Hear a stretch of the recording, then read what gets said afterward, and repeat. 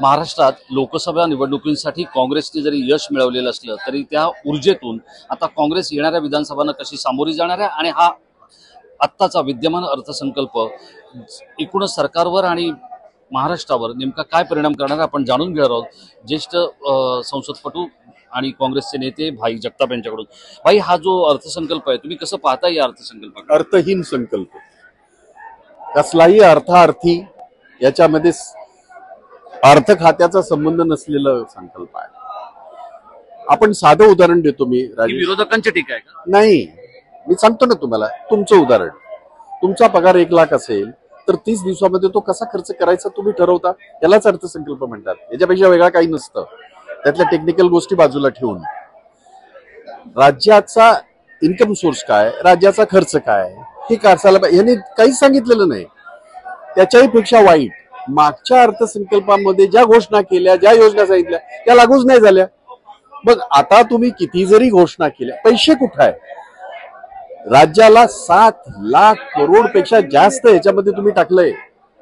कर्जामध्ये तुमचा income source कुठं आहे? आणि म्हणून निवडणुका लक्षात ठेवून देशाच्या प्रधानमंत्र्यांनी चाकले ते एकशे चाळीस कोटी जनतेचा हे जो आहे आवाज त्यांना त्यांच्या कानात अजून गुंजत असेल तो. चारसो पार न वगैरे वगैरे. तडीपार केला ना लोकांनी? तसाच इथे सुद्धा यांनी किती घोषणा केल्या तरी महाराष्ट्राची साडेबारा कोटी जनता ह्या सगळ्या घोषणाबाजींना जुमलेबाजींना बळी पडणार नाही.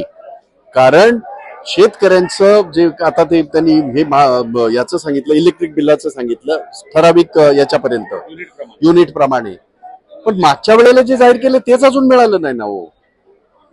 प्रश्न असा राहतो की तुम्ही भविष्यात काय करणार आहे त्यापेक्षा मागे मला जे तुम्ही सांगितले ते मला दिले माझ्या खिशात टाकले मला त्याची मदत झाली मी पुढची मिळते तर मी समजू शकतो.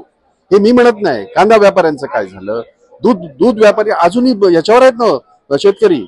व्यापाऱ्यांचं फक्त बघायचं त्यांच्या मलिदा त्यांना कसा मिळेल हे बघायचं. हे नरेंद्र मोदींनी आयुष्यभर केलं दहा वर्ष केलं. इथे देवेंद्र फडणवीस यांनी पाच वर्ष केलं. आता हे लोक ते करत आहेत.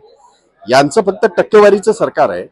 घोषणा करायच्या टेंडर काढायची मोठे मोठे रस्ते सांगायचे. मुंबई गोवा झाला का हो? आठवते तुम्हाला गडकरी काय येऊन बोलले होते महाराष्ट्रात? एका वर्षामध्ये करून देतो. या गोष्टीला अकरा वर्ष झाली. त्यामुळे लोक आता समजून चुकलेत ह्यांचा ह्यांचं करणी आणि कथनी. त्यामुळे ह्या म्हणून मी सुरुवातीला म्हटलं ह्याला या अर्थसंकल्पाला जराही अर्थ नसलेला अर्थार्थी कसंही अर्थ नसलेला असा आहे. तुम्ही विरोधक म्हणून मला विचारलं की विरोधक म्हणून आहे का? तर नाही. ही सगळी कारण आहेत. नाही पण मला सांगा आता जसं लोकसभेच्या वेळेला जो राहुल गांधींच्या भारत जोडोमुळे जो मोदींचा विरोध जो आहे तो तीव्र झाला तसा या सरकारच्या विरोधात विरोध तीव्र करण्यासाठी पुढच्या शंभर दिवसांचा काँग्रेसचा कार्यक्रम काय? नाही तो कार्यक्रम आपण बोलू नंतर. तो काही कार्यक्रम असा रस्त्यावर सांगता येणार नाही. पण एवढं मात्र नक्की की महाराष्ट्राची जनता सरकारला धारेवर धरा. नाही ते तर आता धरूच. आता चर्चा ज्या आता आहेच ना. उद्यापासून चर्चा होतील त्याच्या ते आम्ही धरूच. परंतु मला माहिती आहे हे निर्लज्जपणे हे सांगणार आहेत. आम्ही हे करणार आहेत. कसं होतं? आम्ही जेव्हा एखादा प्रश्न विचारतो आम्ही जेव्हा एखादी हे करतो टीका करतो तर त्याचं समर्पक उत्तर असलं पाहिजे ना. नुसतं तुम्ही विरोधी विरोधी भागावर विरोधी भागावर असं करून नाही चालत. ना असं काँग्रेसच्या काळामध्ये नव्हतं चालत. आपल्याला आठवत असेल तुम्ही इतकी वर्ष मीडियामध्ये आहात. एखादा प्रश्न उचलला गेला तर त्याची आमच्या याच्यामध्ये चर्चा व्हायची हे काय चाललंय? शेतकऱ्याचं असेल कष्ट अहो यांच्या विद्यार्थ्यांच्या ह्या दिलेल्या नाहीत.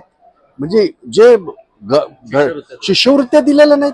इतकं हे ब- ब- ब- ब- बेदरकार सरकार आणि ज्याला म्हणतो ना सव- अस- असंवेदनशील सरकार आहे. हे काय सांगतात शेतकऱ्यांचं? यांना कसल्या शेतकऱ्यांच्या संवेदना आल्या यांना कसल्या महिलांच्या संवेदना आल्या आम्ही केलं. सरकार जिथे जिथे काँग्रेसचं आलं त्या ठिकाणी महालक्ष्मी योजना आम्ही लागू केली.